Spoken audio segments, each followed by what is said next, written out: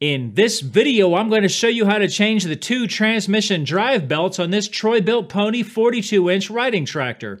It's a very easy job that you can do by yourself and save a little bit of money. Okay, so without further ado, let's dive right in. Now I've gone ahead and removed the body from this lawnmower, not because you need to do that to get to the belts, but because it makes it much easier for me to film and get light where I need it You'll have access through the sides right here. If you take the battery out and remove the battery straps, you'll have access through the top right here. You'll have access over here, and then, of course, from underneath.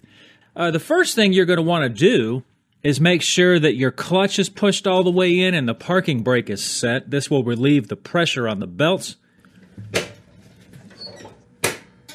Next thing you'll want to do is remove this tension spring right here. Now you can access this from the other side with a pair of vice grips and just clip them vice grips on there and pull. I'm going to do it from this side because it's easier. Just like that. Now the tension off our idler is relieved right here, so this belt will come loose. Just like that.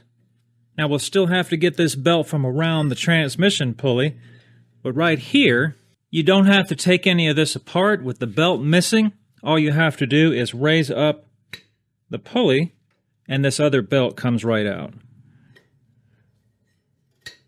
Just like that. All right, so you'll want to reach through the battery compartment right here.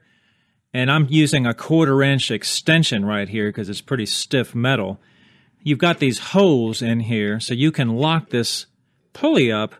I would stick it right down through here and wedge it between this bar, which of course they put right in the way for a direct line with a socket. All right. And then there's a, a little ear on the transmission down there that I'm lodged against right there. So you should be able to lock it up pretty good like that. And I'm going to use a 15 16 wrench like that. And you should have access through the side right here to be able to push on the wrench.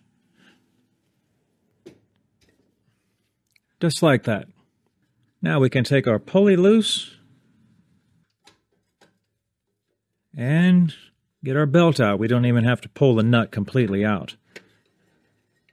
All right, so the front belt is loose. We just have to get it loose from around the engine.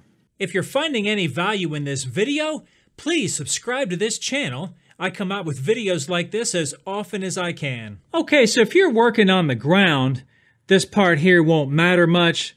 But if you've got your mower jacked up in the air, I don't like to put the stress on the deck. So I do have mine jacked up. So I went ahead and put a piece of string here. I know it doesn't look like much, but it's actually pretty strong. And I went ahead and pulled the cotter pin out right here so that I can pull that rod out and get that right out of the way. Now you got access. So we need to get this belt guard off right here. And we have a half inch bolt up in here. And it just pulls out from the other side right over there. Now we need to get our pulley loose because we have these guards right here. This bolt is a 5 8 head right here, and it does have some Loctite on it, so it's pretty tough to get it all the way through there. If you don't have an impact, you'll probably have to take the top of the engine off and then find a way to lock the flywheel up there without breaking any of the cooling fins or anything like that, but I do have an impact, so we're going to go the easy route. Now let's just get our deck pulley out of the way, very easy with the guard gone. And drop this down right like so, and there we have it.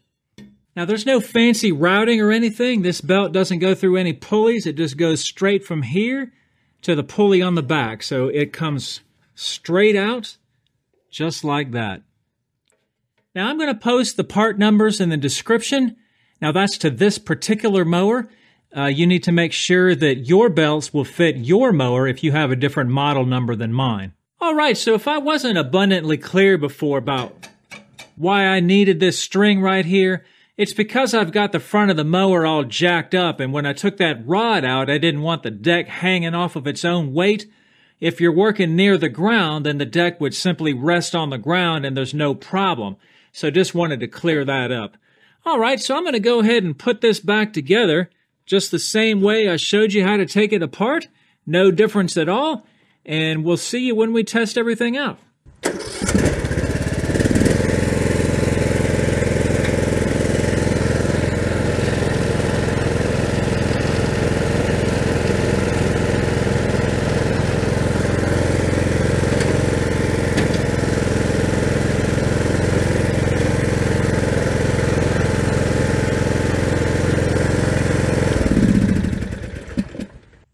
Everything works like a champ? Okay, hope this video was helpful. Thanks for watching.